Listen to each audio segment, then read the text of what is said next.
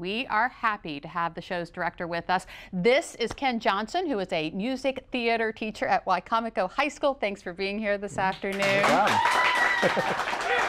You must be a popular teacher. It's my fan club. Oh, they yeah, follow yeah. me, so- Okay. Mamma Mia, how fun is that? Oh, as soon as the rights became available, I was like, yes, we are doing this show. Yeah, yeah. And it's all part of something called the All County Musical. What is that? Yes. Uh, last year, we, we, we decided that um, there wasn't an, an opportunity for students to be involved in musical theater.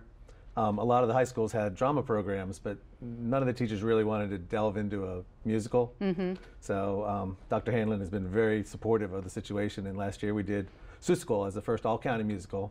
So we invited students from all four high schools, no matter where they were from, they could come and try out. So, So the audition process, though, has to be rigorous with all of those students yeah, we, in. we went to every single high school except for Mardela. We Mm-hmm. made them drive to us. So sorry, sorry Mardela. Um, but but yeah. Yeah, but the, the students um, really take this production very seriously, don't Oh, they? they take it very seriously. I, I have to kick them out of rehearsal at night. Really? It's crazy, yeah. Really? Oh my goodness. So um, you've been working uh, theater, drama, music students. You've been doing this for forever. Yeah, And, I- I, uh, started drama when I was in high school. So yeah, yeah. So tell me about that moment when you get on stage or they get on stage and they're performing and, and it just all comes together. Oh, uh, the uh, we, we call it. It's, it's the it's time when the uh, the, the theater fairy kind of shows up. Uh huh.